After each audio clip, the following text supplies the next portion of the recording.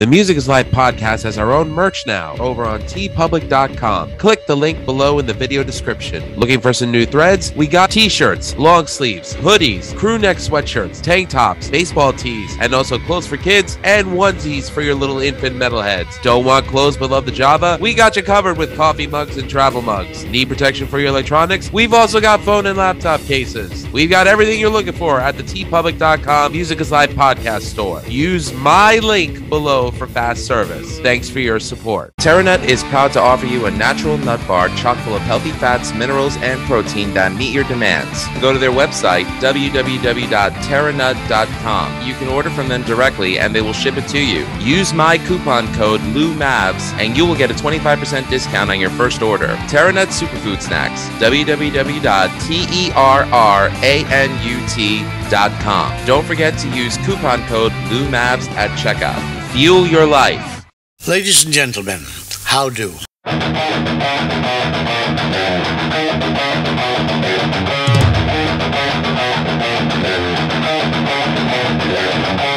are ready and waiting for you now. If it's a fight that you deceive, we've acquired our strength through pain. No more are we pathetic game. You are the reason why we claim that we've all become this way. And I regret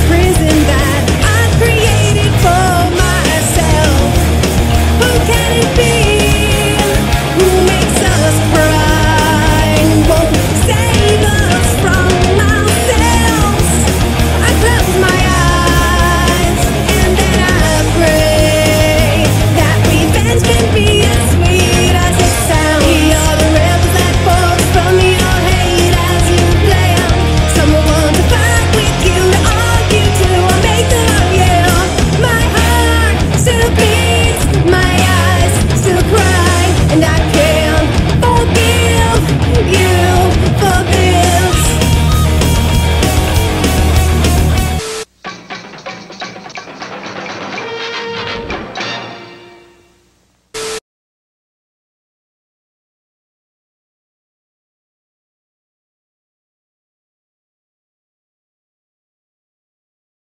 My name is Peter Steele. I am a kind, wonderful human being, sees the value in all life, lover of all living things, typical Christian, Christian. I am very happy. One of the things that I ask all of my guests is the recent advent of cancel culture in arts. If we go back in time, we see that the music of Carnivore and Type O Negative was one of the first hits of cancel culture from people who had no concept of dry wit and sarcasm, which is something people from New York just have. You Yeah. know, there's no harm meant behind it. The thing about art is that one person said a long time ago that they'll know something is obscene if they see it, proving that whatever is deemed offensive is subjective and not objective. Yes, science, bitch! What is your opinion on cancel culture? And has there been any backlash from pushers of cancel culture for the music of Carnivore as performed by Carnivore AD? Actually, there was. I think the, the cancel culture thing in, in the arts and the music has been around for a while. You know, it they, they have a new name for it now and it's packaged differently. I guess you Anything could call it the satanic panic of the 80s, possibly. Yeah, or even going further back before that, John Lennon and his comment that the Beatles were more popular than Jesus Christ, right? Um, Elvis in the 50s. Again, completely taken out of context. Yeah, yeah, that's what I mean. So this is really nothing new. Again, it's called something different now, and it's packaged differently, or you know, put out there differently. Elvis in the '50s with the, uh, you know, the religious groups in, in the more. Uh, Oh, and the hip swinging on Ed Sullivan, right? yeah, yeah, and also they burned his records. They had bonfires out in the street burning Elvis records.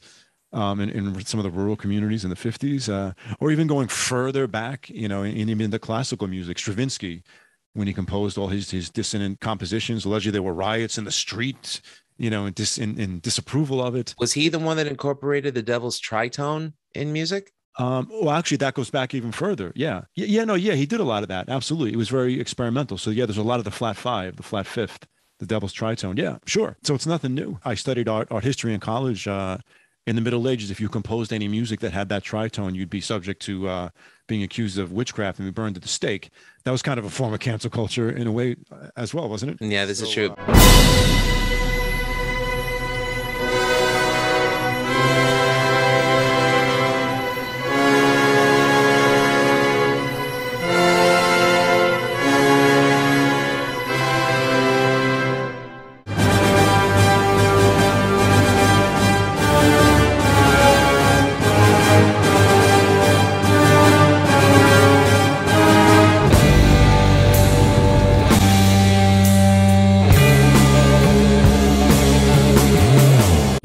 love that chord. That's like my favorite, uh, my favorite interval. Actually, getting back Love to the too. comic, um, my character actually composes music with the tritone in it, and that's why I'm blasphemed by the church. Make a long story short. Yeah. So this cancel culture thing is goes back to the Middle Ages, right? With the tritone and being burnt at the stake. At least, at least nobody's burning anybody at the stake right now, right? Or at least not yet. Well, you know what I say? A hot steak is better than a cold chop. Ah. yeah, no, that is true. so, um, Oh, that was bad. yeah, no, it's it's it's in league with my kind of humor, so I could appreciate. Thank it. you. Sure. No, you're very welcome. But getting back to the second part of the question, if we've encou- encountered any of that, um, we have. You know, the main controversy with with uh, with, with the original band was the, you know, the uh, scenario accusation. You know, songs like Jesus, Hitler, and Race War, right? And the symbol that looks like it's whatever, but it has uh, three ends of it instead of four. Uh, it, they Um, called it a, a try something. I forgot what it was, but I know what you're Yeah. referring to. so yeah that you know we we encountered some of, of of that controversy actually as a matter of fact germany didn't even want to touch the band for the first couple of years of its existence you know then finally um in 2019 the Rock Hard Festival you know took a chance and were like all right and booked us luckily but uh yeah the content they thought it was just uh this is unacceptable you know i mean you know the german the german people are very sensitive about their past history so i i, I can almost kind of kind of understand where they're coming from but a song like Jesus Hitler was never, you know, a, a anthem at all. It wasn't in context when you listen to it. It proves, if anything, that Peter was a wordsmith who Very much were so. yeah. able to kind of like twist two complete polar opposite dichotomies and somehow twist it into one evil character, not promoting it. And again, it's like context and intent is everything, in my Yeah, opinion. No So, question about it. Yeah, you know, yeah, he wasn't absolutely. pushing. Yeah, the- I, I don't want to say the word, so I'm going to say he wasn't pushing Yahtzeeism. yeah, no, no, definitely not. Definitely not. You know, it was just like a crazy science fiction tale that Pete came up with, you know, about a, a nun that's there by East Hand in World War II and then gives birth to a child who's part Christ and part Hitler, but doesn't know if he should be bad or evil. You know, so the character isn't even fully evil. He's just torn, you know, similar to the, to my predicament in the comic book. So maybe again, then maybe that's another allegory about the the inherent struggle between good and evil in man. You know, and that's all it was. That's all it ever was.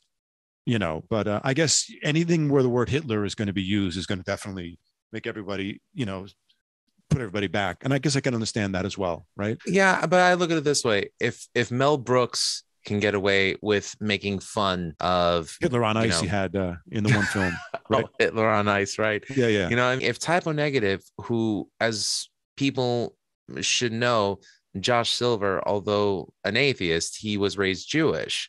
From a so Jewish background. why- yeah, of course. So why would he want to be associated with a group that was promoting Yahtzeeism? Of course. Again, Yeah, I have to say course. Yahtzee instead of the other word for fear of getting taken down. Yeah, no, I understand. Of course, of course. Yeah, I mean, the, the thing is, nobody really reads the lyrics or knows about that. You know. Also, I think the delivery too. You know, Hitler.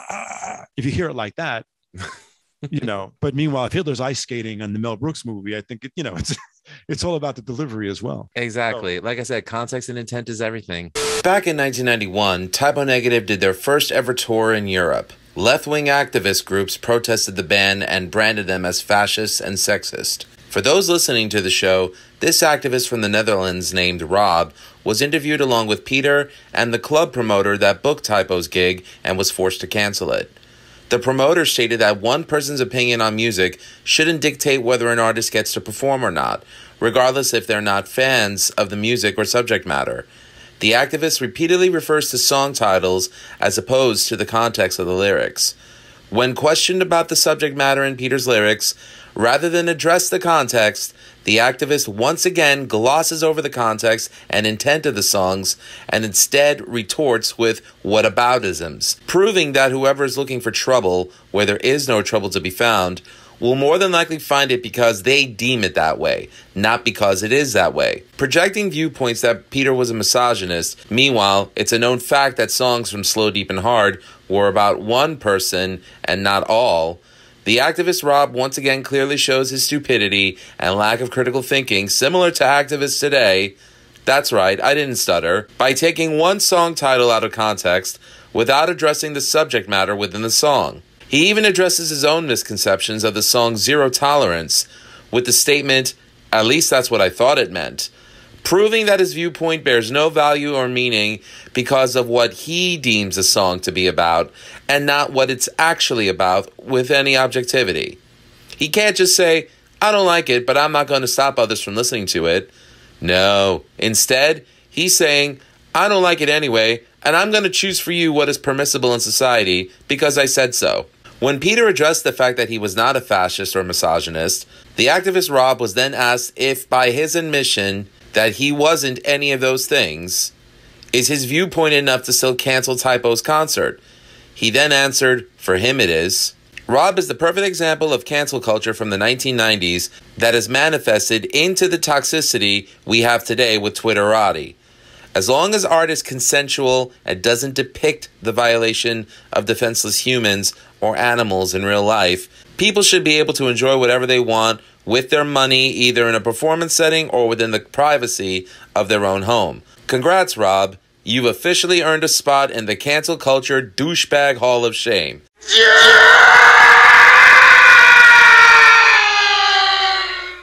Emotional damage. So we definitely caught some of that crap. Um, and again, Germany didn't even want to touch us, and eventually they did. I've had people in Germany tell me, uh, "I can't believe you're actually up on stage here in Germany singing this song." I'm like, I can't believe it either, you know. But uh, I'll always take the time to make these points and present it like this. I'm not apologizing for it. I'm just trying to give you a background of, of what this is about, you know. So we we experienced that, and and the song "Race War" too. That's another controversial one. I Uh, don't think there's any reason why you should have to apologize for it. I mean, Yeah, no, and I it's- And uh, right, because honestly, it's like art is meant to make you think. It's meant to be enjoyed. It's meant to entertain, but it's also there to provide a different perspective that deviates from one's narrative. And if you start censoring what people write about, then you're not allowing them to maximize on their artistry. I don't like censorship of any kind. I'm not saying that I'm promoting anything that would hurt anyone, but I will say once you start forcing standards on people, then you're going to have nothing but automatons in this world. And that's not what life is about. That's not the Yeah. kind of life that I would want to live. Absolutely, absolutely. And and also in this case, I mean, that's not what this art was about, though. It's a misunderstanding. Right. You know, it's like you're not. No, it's not this. You're wrong. You know, same thing with race war. You know, but everyone fails to realize the end line of it says, "No one wins, we all lose."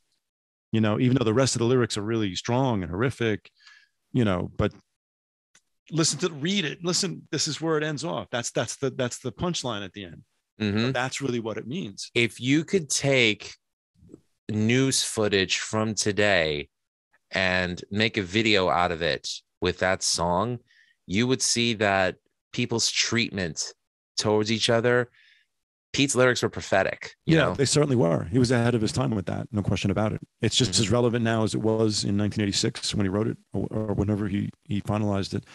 Yeah, but again, it's not you know shine not the out anthem no, or anything not. like that. And- And, you know, and, if it was, I would have a problem singing it. You know, so I'm not I'm not far from it.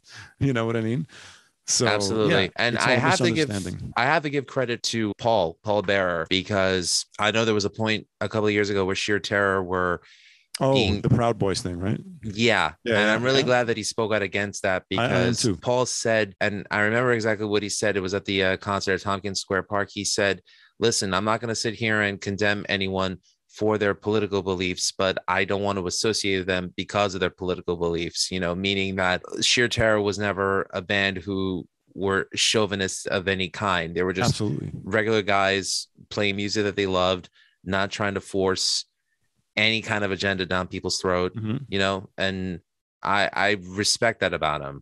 Seems the uh, that Gavin McInnes jerk off from the Proud Boys had mentioned us on his podcast in favorable light. Now, for a lot of bands a lot of people, that might be a good thing, thinking, well, hey, we got some free publicity out of this guy, and thank him. Uh-uh, fuck that. So I posted on the Facebook thing that Proud Boys are not welcome anywhere we are or at any of our shows. To which they replied that they were gonna, their revenge, mind you. This is their, now listen to this. They were gonna buy our shirts and wear them to marches and and sing our songs. That was their revenge plan. So they were gonna put money in my pocket and walk around singing songs about manic depression, cocaine, and. I guess I won. And a lot of people, some other people are like, oh, why, why would you want to alienate, you know, a potential audience? Would you shut up for a second? Why would you want to alienate a you know, a certain audience or certain people that might come to see you play, no matter what their political beliefs are? Because of what their political beliefs are. Everybody complains about political fucking correctness. Political correctness is not the problem. Political ambivalence is. Just because the bathroom is closer than the kitchen doesn't mean you gotta eat shit. Alright? Remember that. I'm a proud boy. I eat all my vegetables. I think that was a heroic move on his part, actually, Definitely. to stand I- up, you know, to that organization and uh, and do what he did. No Yeah, question I- about that. And to give you context as to why I feel the way I do is because my dad was an auto mechanic on Astoria Boulevard in East Elmhurst. He owned his own business. Mhm. That was a poor area of Long Island City, Astoria, Queens. Everyone who lived around there who didn't look like us were his customers. He he they went to him because he treated them with respect and with love Absolutely. and you know i asked my i asked my dad i said you know dad you this is when he was still alive obviously i asked him you know you came here in 1968 you know you were at the the height of the civil rights movement Yeah. and you've never professed hatred for anyone of any kind who who was of a different persuasion than you he's like why is that he said because at the end of the day we all want to do well for ourselves and take care of our families Yeah. no one's better than anybody Absolutely. I couldn't agree with you more. And and that's totally where I'm at. You know, and that's why it could be disheartening, you know, for me when I have to confront some of this stuff here, you know, within the context of the carnivore music, you know. And Well, the fact that you just said it yourself right now on this podcast that if you thought that the context of the lyrics were anything but what they were about, you wouldn't sing them. no, So I definitely think not. right there is you know, absolutely, absolutely. I even make a statement. enough. Yeah, I even make a statement before we do race war. I say, and now on the subject of xenophobia, ethnocentricity, and racism, and these are all parts of the song. No one wins, we all lose. You got it? Like I want to make sure everybody understands that. Everybody got that? Not that I'm trying to be politically correct or be preachy or anything. That's not being I'm just trying to set correct. the record straight here. Yeah. And this isn't like my, you know, a liberal view trying to change something. I'm, I'm taking the, the actual phrases in the song and reciting them before the song. So it's not like I'm putting my own spin on it, you know? So I want to make that perfectly clear. Uh, Absolutely. And yeah. if anyone has a problem with what he's saying, fuck you, Malaka! Really? Some people have had a problem that I said that. well, And I've been called, oh, this is the politically correct version of it. No, it's not. It's, these are the lyrics in the song.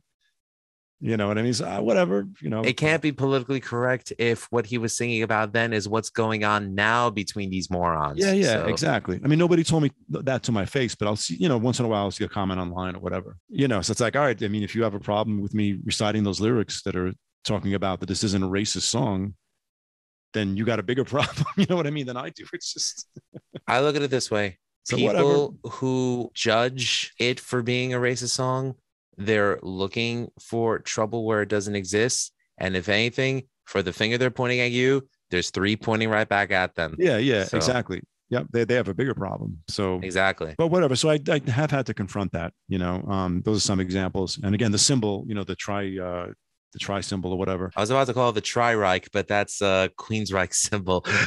You know, that's something. Yeah, I don't think they get that's something different. Yeah, they have no troubles with that. I hope not. Even in New York, actually, we had uh, we had those on a flyer, and the promoter was like, "Get that off the flyer," and we did. It's like, okay, uh, you know, I know it looks, I know it, it looks similar. I, you know, I, I understand everybody's everybody's uh, viewpoint here, right? I mean, the, the story about what that symbol was, from what I understand, is it's derived from a hour symbol, but it's inverted, it's reversed, so that changes the the meaning, right? If you have a cross and you turn it upside down, it means Right. the opposite. Similar to the Yahtzee symbol, where if it's reversed, is actually a Buddhist symbol. Right, that's right. It goes back to the most one of the most peaceful cultures you could think of, you know. hmm And also on another note, I was watching an episode of Star Trek not that long ago, and on- on one of the planets they had a symbol that looked kind of like that on, on one of the structures in one of the planets that they had visited.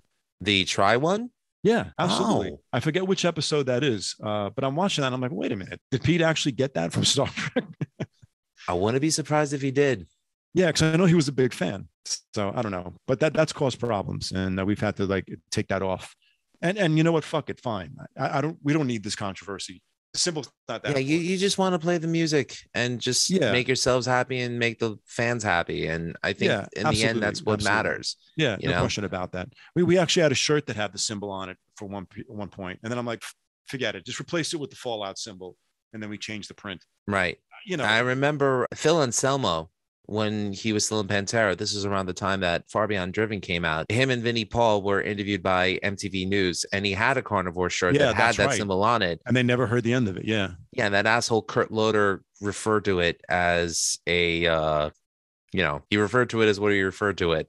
Ever since the thrash rant band Pantera topped the charts with its new album Far Beyond Driven, there's been media mumbling about the alleged racism of the group's lyrics. A quick check of the lyric sheet reveals nothing beyond the usual apocalyptic hardcore spew, although such phrases as building a blood and kill them all may strike some non-fans as vaguely unsettling.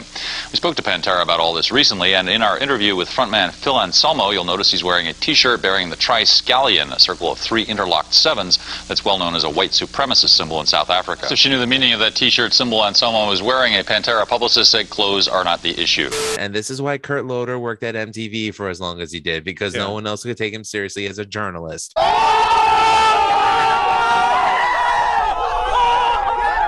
But Yeah, I that's right. digress. Good point. Good point. I mean, granted, I mean, Pete definitely was definitely pushing the envelope a little bit, right? Because I mean, it does resemble it, you know, how people are. But I think he didn't give a shit. He's like, well, if you're going to be offended, then be offended. Fuck it. You know, I think he was coming from that that perspective as well. He, Well, he, he didn't sit here and, and try to explain it like I am. He didn't have to. I appreciate the fact that you're explaining it and telling, you know, the listeners and showing the viewers that carnivore AD is not coming from a place of, you know, hatred, Yeah. which I never thought that was ever the case for a second. And, you know, again, offensiveness is subjective, not objective. You know, if you're offended by something, you need to question why and then ask yourself, really, are you that offended by it? Yeah. And if you're not, just walk away. Yeah, So- go listen to another record or something. You know, there are plenty of other things in the world to be offended by other than this. Well, one quick quote about about being about things that are offensive and something that Pete said actually. Pete always maybe you've, you've heard him say this before. He always felt that uh, that music, rock music especially, isn't any good unless it offends a lot of people, unless it offends the right wing, the left wing, your parents, the school system, uh, the media, et cetera, The et cetera. church. He- the church, yeah, the church, and he lists some other things as well. If it doesn't upset people, it's Yeah. not rock music. If it doesn't upset your parents, it's not rock music. We were labeled both fascist and communist. We were just capitalists. Haha. You know, world domination. One, two, three. Communazi. This way you can, left, right, right wing, left wing, chicken wing. Communism, fascism, botulism, number one. Everybody gets free salmonella. You're a true character. You're. I've been told. Rock is is is taking those primal feelings and amplifying them to 150 fucking decibels, and saying "fuck you" to the world. I So that's agree where with he him. was coming from. Yeah, yeah, I agree too. And But he see, did. He that- offended everybody. but but that's the thing though like we're you know i'm a parent and we're the age where we're older than kids that would listen to rock music although you know they'd rather listen to edm or whatever's popular right now so i'm wondering if pete who i think i was no he was he was 50 i think when he passed right I believe so. Yeah. So, uh, 49 might not even been 50. something Either yes or, yeah. E- either or but you know he was at that age where technically he'd be considered a parent so i wondered if he still felt the same way about it Yeah, yeah. Eventually the, the tables turn. Yeah, yeah, exactly. You know, And all I have to say is no. And I, I. I do love his one political statement. He said, "We're not left wing, we're not right wing, we're chicken wing." chicken wing. Yeah, of course. Yeah, absolutely. That's and I'm like, you know what? I'm chicken wing. All right, I'm bat wing. I have my own play on it. bat wing. Like yeah, yeah. So um, you know, I'm- I want to keep with the whole shtick here. You know. so- but uh, yeah, I mean, crazy world, crazy people, right? Love That's, it.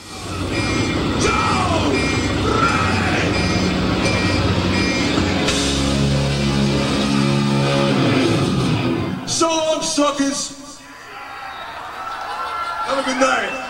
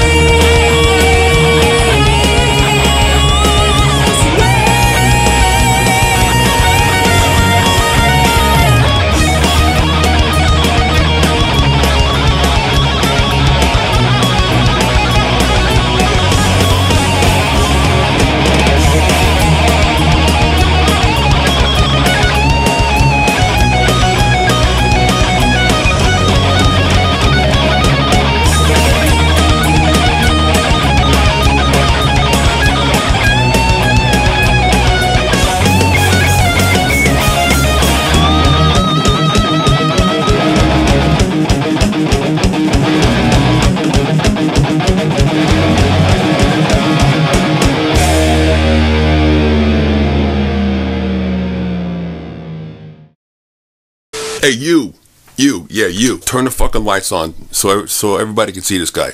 Your middle finger is the exact same length as your mother's uterus. Hi, mom.